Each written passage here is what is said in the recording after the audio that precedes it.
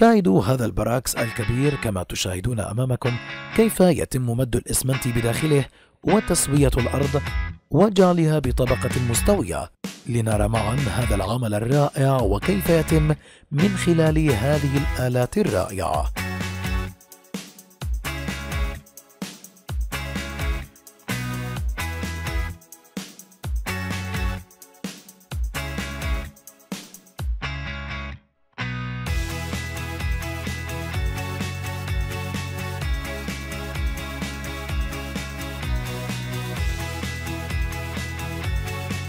يقوم هنا العامل بخلط كمية من الإسمنت حتى يقوم ببدء البناء على هذا الحائط. فكما ترون يقوم بوضع الإسمنت بهذه الطريقة ويصف الحجارة. وبعد أن يجف كما تعلمون ستلتصق ببعضها البعض. لنتابع معا طريقته المميزة في البناء.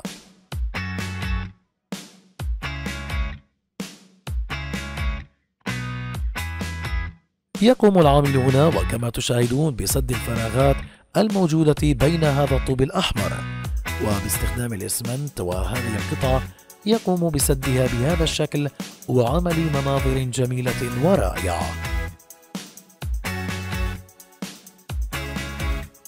تشارك هذه الآلات في عملية البناء الرائعة هذه لهذه القطع الكبيرة من الحجارة.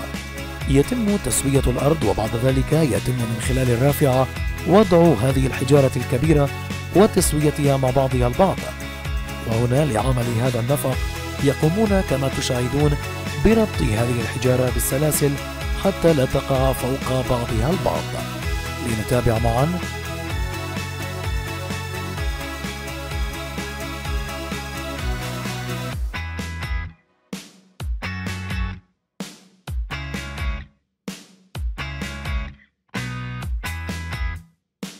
هذه المادة والتي ترونها أمامكم تشكل طبقة قوية ومتلاحمة وأيضا تمنع تسرب المياه وأيضا تمنع الصوت.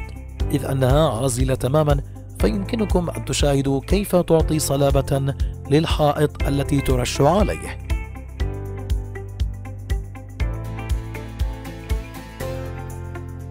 بإمكانكم أن تشاهدوا كيف يتم وضع هذه القوالب الإسمنتية على الأرض حتى يتم تعبيدة طريق كبير كما تشاهدون.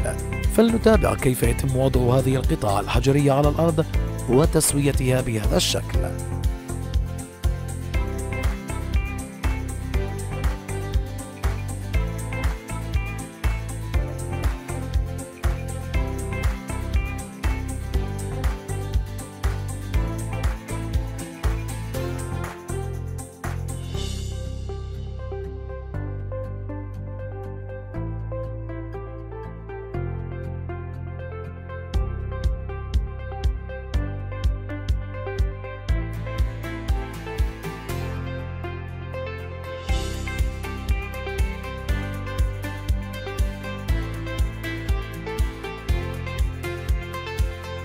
كما تشاهدون أمامكم يقوم العامل هنا بتوزيع الإسمنت على الأرض وبعد ذلك يقوم بتسويته جيدا. ثم يقوم بعملية البناء عن طريق وضع الحجارة الخاصة لعمل هذه الحوائط العملاقة. لنتابع معا كيف سيتم الأمر وكيف سيقوم بعملية البناء.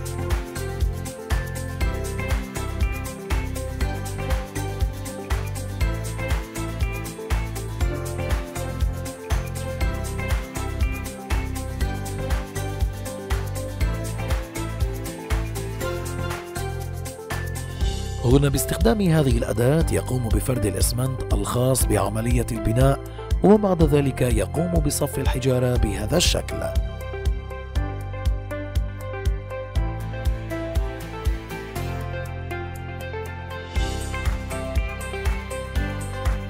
يتم استخدام هذا المنشار كما تشاهدون لقص الحجارة حتى يتمكنوا من وضعها في المكان المناسب.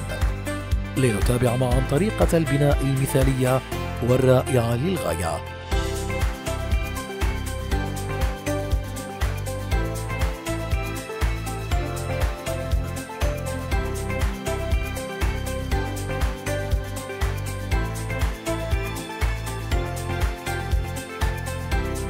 هذين العاملين يقومان بوضع الإسمنت بهذا المكان أو بهذا القالب والآلة ستقوم بتسويته لجعله حجارة صغيرة فيما بعد يتم إزالة الزوائد وبعد ذلك يتم تسوية الإسمنت وينقل بعد أن يتم تجفيفه حتى يتم وضعه على الأرض لتكتمل عملية التجفيف.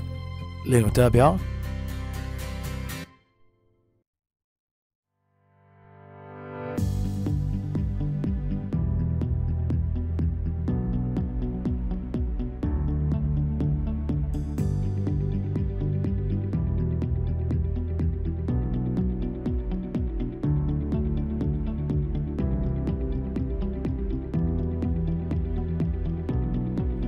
يتم تعبيدة هذه الأرض بالإسمنت كما تشاهدون ويقوم العمال باستخدام هذه البكرات الخاصة بفرد الأرضية بهذه الطريقة وذلك حتى تصبح متساوية تماما.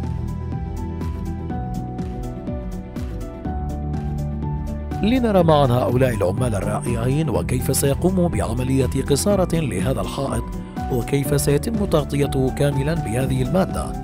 باستخدام هذه الآلة بالطبع والخرطوم الذي بيده يقوم برش المادة وتوزيعها جيدا على الحائط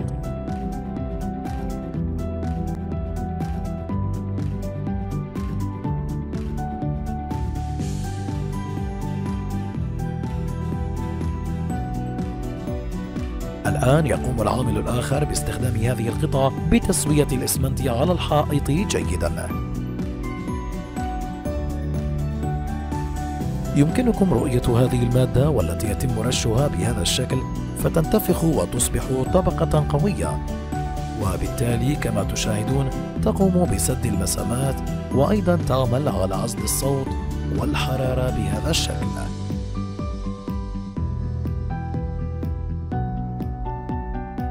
كما تشاهدون أمامكم هذه القاعدة الإسمنتية والتي يتم غرز هذه الأسياخ الحديدية بها حتى يتم توقيف حوائط بهذا الشكل.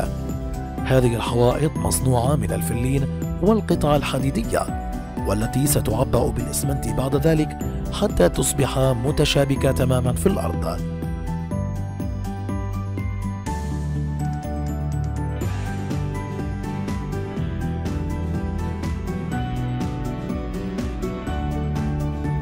يمكنكم مشاهدة العمال كيف يقومون بتسويتها والتصاقها ببعضها البعض من خلال هذه القطع الحديدية وبإمكانكم أن تشاهدوا كيف أصبح شكلها.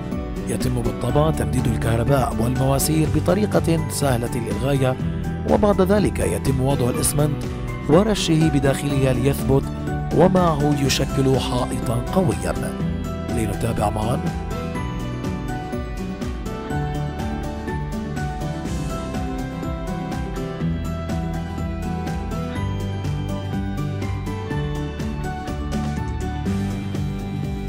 هنا يتم وضع هذا الشريط وبعد ذلك يتم وضع الإسمنت فوقه وتتم عملية البناء. لنشاهد معا كيف سيقومون ببناء هذا المنزل بواسطة هذه القطعة والتي يتم وضع الإسمنت بداخلها وبعد ذلك يتم مدها على هذه الحجارة وصف الحجارة فوقها. بالطبع عمل رائع ومميز للغاية. لنتابع كيفية بناء هذا الحائط.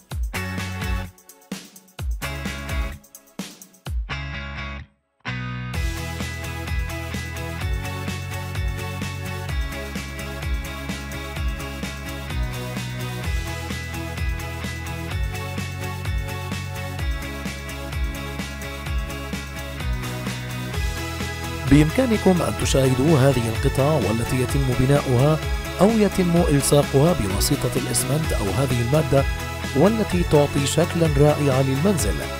لنتابع معا كيف يتم إلصاقها على الحائط لتشكل منظرا رائعا للغاية لواجهة المنزل أو البيت.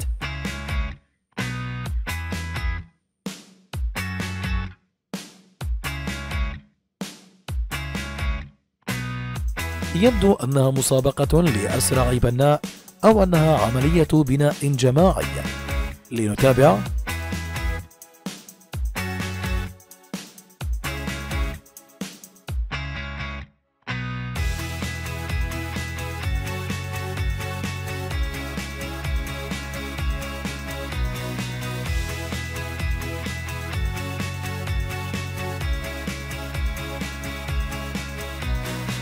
لنرى معا عملية بناء هذا الطوب الأحمر الأكثر من مميزة.